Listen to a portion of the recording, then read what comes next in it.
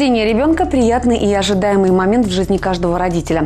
Однако после появления на свет малыша появляются бумажные вопросы, которые необходимо решить в короткие сроки.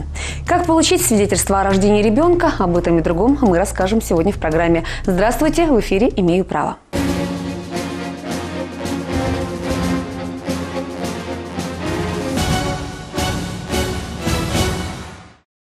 Появление в семье малыша всегда большая радость для его родителей и родственников. Но как только первая волна эмоций поуляжется, новоявленным родителям необходимо позаботиться о том, чтобы ребенок стал полноценным гражданином страны. Первым официальным документом, который получит ребенок, станет свидетельство о рождении. Хотя получение этого документа – дело не такое уж и хлопотное, есть ряд нюансов, о которых будет не лишне знать молодым родителям, для того, чтобы не погрязнуть в бумажной волоките. Итак, для получения свидетельства о рождении ребенка нужно обратиться в ЗАГС по месту прописки одного из родителей. Родители или один из родителей а, обращаются в отдел ЗАГС а, с заявлением, которое может быть в устной или в письменной форме о рождении ребенка. Если кто-то из родителей или родители не могут в данном случае обратиться в отдел ЗАГС по каким-то причинам, а, они могут уполномочить своих родственников, знакомых сделать это заявление. При этом, конечно же, обязательно доверенность должна быть на регистрацию рождения. На получение свидетельства о рождении законодательством отводится срок в один месяц с момента рождения ребенка ребенка. Если же какие-то обстоятельства есть препятствия к тому, чтобы в этот месяц явиться для регистрации рождения ребенка, заявление все равно должно быть сделано, и регистрация производится без всяких штрафных санкций, на то, как некоторые спрашивают и боятся, что есть какие-то штрафные санкции. Регистрация также будет произведена. Регистрация рождения производится в присутствии родителей или одного из родителей, обратившихся к нам, ну, вся регистр... в, момент, э, в момент обращения выдается и само свидетельство о рождении. Для оформления свидетельства о рождении нужно предоставить следующие документы. Полученную в роддоме справку о рождении ребенка, паспорта обоих родителей, свидетельство о браке, если родители ребенка расписаны. Для чего нужно свидетельство э, о заключении брака? Некоторые задают такой вопрос. Свидетельство о заключении брака дает основание занести сведения об отце в свидетельство о рождении ребенка. Если э, сведения о матери мы заносим по свидетельству медицинскому о рождении, которое не предоставляют из роддома, также необходим этот документ обязательно должен быть, э, то, свидетель, э, то сведения об отце э, записываются на основании свидетельства о заключении брака. На основании предоставленных документов в ЗАГСе выдадут свидетельство о рождении ребенка. В документе указываются фамилия, имя, отчество ребенка, дата его рождения, а также сведения о матери и об отце. Запись о национальности вносится по желанию. Если родители ребенка состоят в браке, то для получения свидетельства о рождении заседании будет достаточно присутствия одного из них. К сведению, сотрудники ЗАГСа могут провести для вас и торжественную регистрацию. Именно так родители маленькой Розалины, первого ребенка, рожденного в 2014 году в Губкинском, и поступили. Пока длилось торжество, девочка сладко спала. Уважаемые родители, мы приветствуем вас сегодня здесь, в нашем зале. Собрались мы сегодня по очень замечательному такому событию – рождением в вашей семье дочки. Совсем недавно, прошло немного времени, вы стояли здесь в качестве жениха и невесты. А вот теперь вы родители. Ваша дочка стала первым ребенком, рожденным в нашем городе в 2014 году. Говорят, что семья по-настоящему рождается с появлением детей. Ваша семья по-настоящему состоялась. Вряд ли есть семейные события более значимые, чем рождение ребенка. И сегодня вы получите самый главный документ для каждого человека. Это свидетельство о рождении вашей дочери. Эльмир и Файруза. В нашем отделе составлена запись акта о рождении вашей дочери. И сегодня прошу поставить в ней подписи. Проходите сюда. Папа сначала расписывается.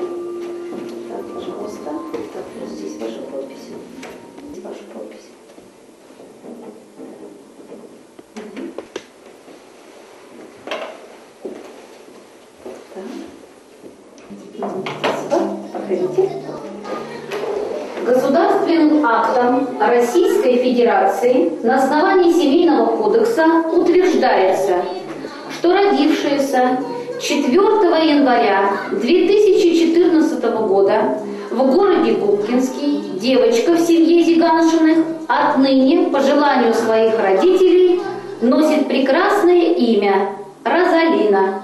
позвольте вам вручить это свидетельство о рождении. Счастья вам и вашему малышу. Пожалуйста, принимайте документ и эти поздравления, пожалуйста. Спасибо большое. Спасибо большое. Мы желаем вам, чтобы в вашей семье царил лад, покой и мир. Чтобы ваши дети росли здоровые и счастливые.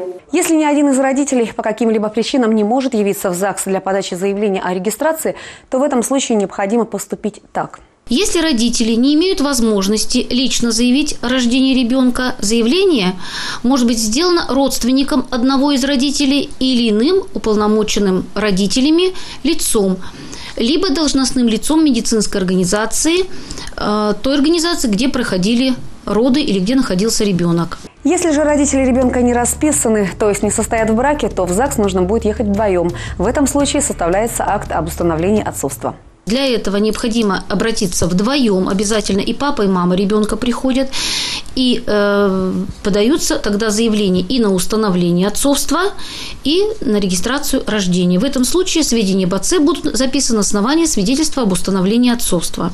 Если же мама обращается одна, и она не состоит в браке, она может вносить сведения об отце может и не вносить сведения об отце. Но сведения об отце, если она захочет внести, по ее желанию они могут быть внесены, они будут внесены, под, э, фамилия будет ее, мамина, то есть под фамилией мамы записываются сведения об отце, имя, отчество по ее указанию. Соответственно, отчество ребенка по имени отца. По желанию матери, если она не состоит в браке с отцом ребенка, информация об отце ребенка может вообще отсутствовать в свидетельстве о рождении такой вариант тоже возможен, то записываются сведения только о матери, имя указывается по ее желанию, отчество также по ее указанию у ребенка.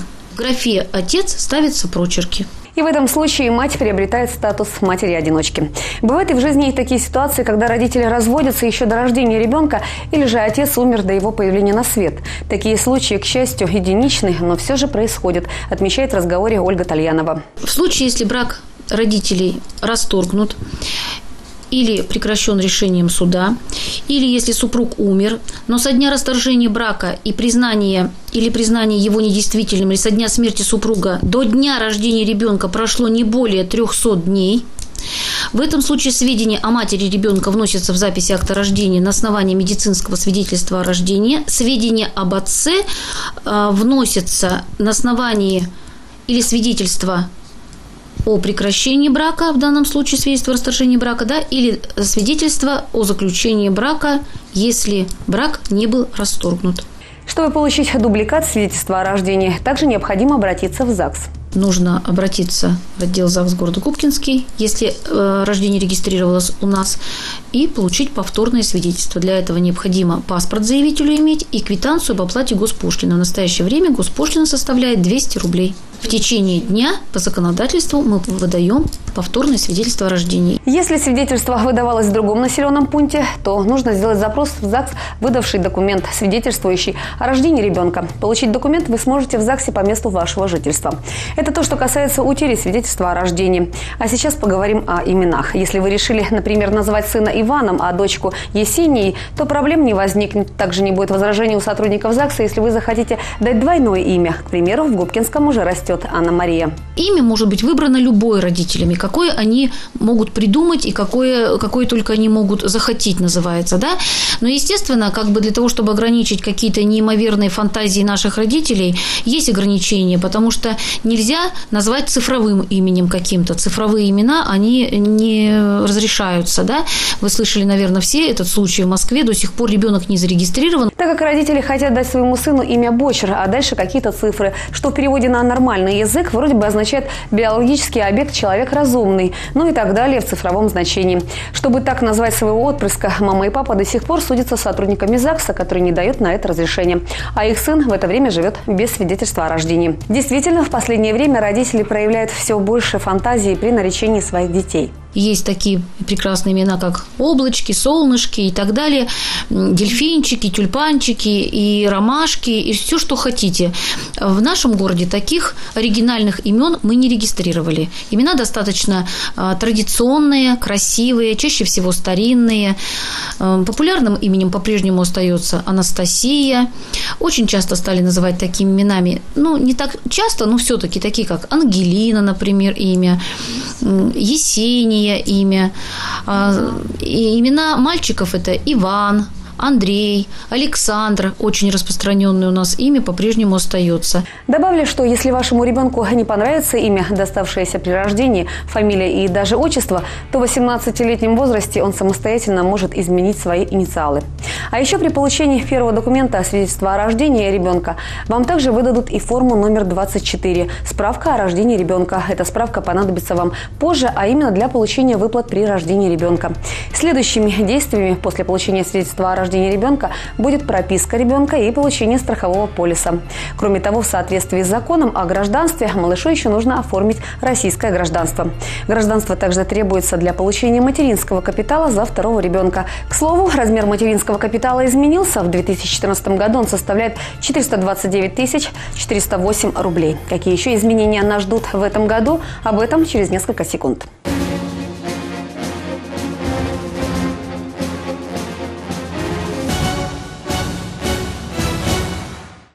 Продолжаем. С 1 января вступил в силу ряд законов, указов и постановлений. Об увеличении материнского капитала я уже вам рассказала. Теперь кратко о других изменениях.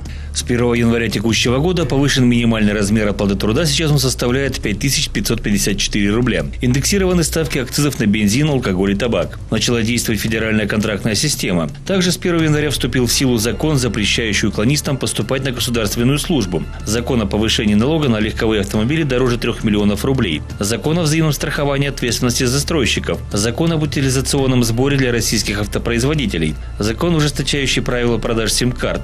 Также с нового года введено обязательное декларирование товара в электронной форме и введено обязательное оповещение клиентов банка в операциях по картам. Вступило в силу постановление об изъятии государственных земель при их ненадлежащем использовании. Введена плата за сброс предприятиями сточных вод в водоканалы. Также начался переход России на производство лекарств по новым международным стандартам. Что касается образования, то и здесь тоже не обошлось без нововведений. С 1 января началась реорганизация Российской Академии Наук. Начал действовать новый федеральный государственный стандарт дошкольного образования, запущенный на федеральном уровне электронная очередь в детские сады. Также с 1 января начал действовать безвизовый режим между Россией и Южной Кореей. Отныне россияне могут находиться до 60 дней на территории Кореи и наоборот.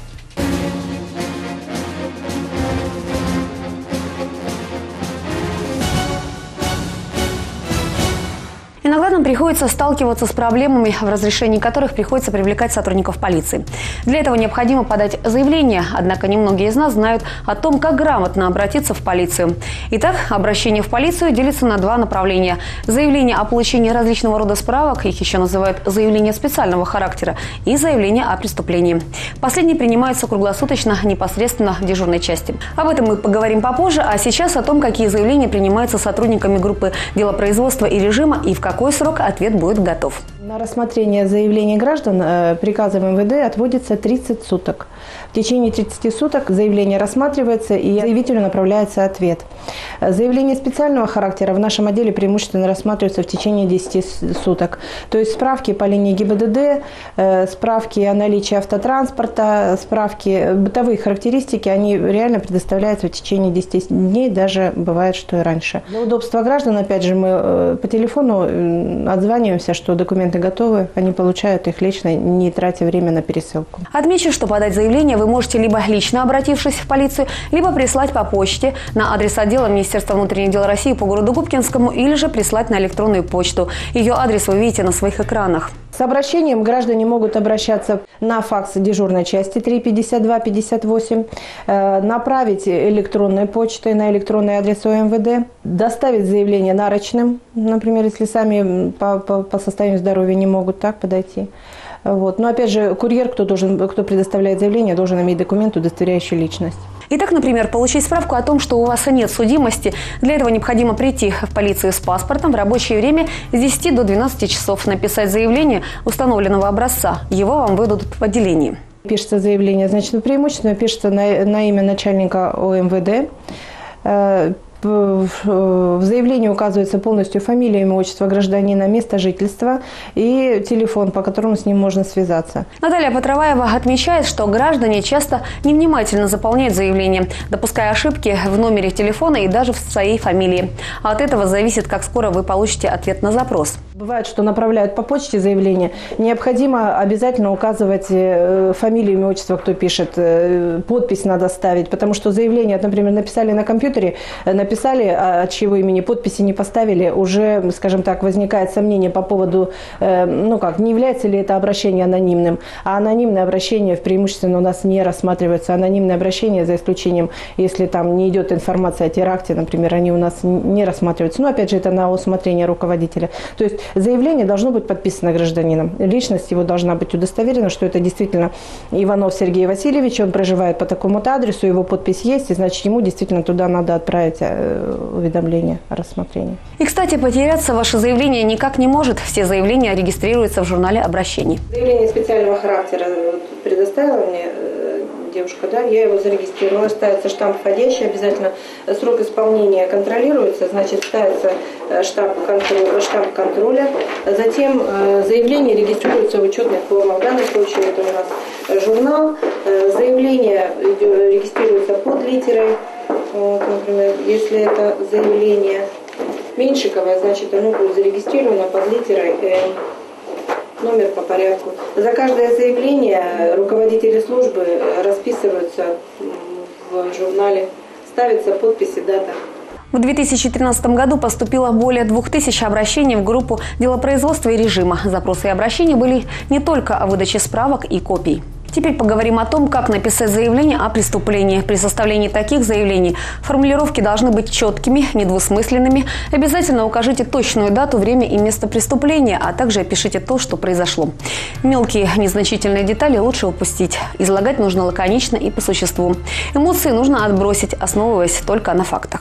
Порядок э, такой, что если гражданин приходит лично, э, обращается с заявлением, э, он обращается в дежурную часть, либо пишет э, заявление непосредственно у нас уже в, э, при, в помещении при дежурной части, либо приходит с готовым э, заявлением. Отмечу, что по административному регламенту время приема письменного обращения составляет не более 30 минут. После подачи заявления вам выдадут талон уведомления, в котором указана следующая информация. В этом талоне уведомления проставляется номер КУСП, так называемая книга учета сообщения происшествия, под которым зарегистрировано данное заявление – проставляет свои данные, э, подпись свою выставляет, ну и дату принятия э, заявления. Это как бы подтверждение того, что заявление было принято. По телефону гражданин сообщает, ну, регистрация также происходит, но, соответственно, при этом не предусмотрена выдача талона уведомления. По закону ответ должен быть дан в течение трех дней с момента подачи заявления, но срок может быть и увеличен. От трех до десяти суток, если необходимо продление, то есть какая-то сложность возникает. И э, максимальное рассмотрение – это 30 суток. Ну, это когда уже необходимы какие-либо экспертизы, бухгалтерские документы, э, то есть ревизии происходят. Свыше 6300 сообщений за 12 месяцев прошлого года, то есть в среднем сотрудники полиции ежедневно регистрировали 17 обращений. Основную массу этих сообщений конечно же, также у нас традиционно составляют э, семейные конфликты и э, конфликты между соседями. То есть это происходит в квартирах, э, в общежитиях, как правило, и также немаленькую долю таких сообщений составляют шумы в, шумам в квартирах. Отмечу, что российским законодательством предусмотрено, что заявление от вас обязаны принять в любом отделении полиции. Несмотря на то, где было совершено преступление. Например, вы можете написать заявление в Ноябрьске, даже если преступление было совершено в Тюмени. Однако советуем не пренебрегать здравым смыслом. Своевременное обращение в полицию поможет быстрому раскрытию преступления. И еще отказать в принятии заявления вам не могут. Это грубое нарушение закона, и по таким фактам сотрудники однозначно наказываются.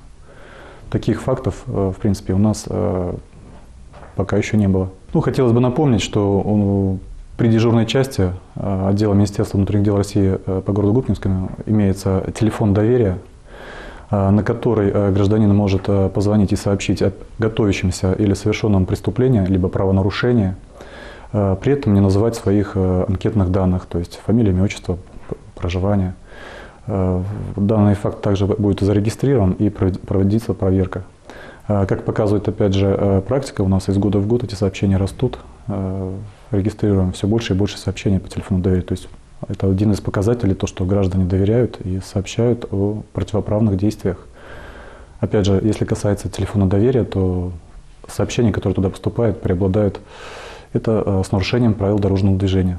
И помните, заявитель несет ответственность за ложный донос по уголовной статье. Об этом в протоколе делается пометка, которая подтверждается подписью заявителя. На этом у меня все. Желаю вам, чтобы поводом обратиться в полицию было только заявление к сотрудникам группы делопроизводства и режима.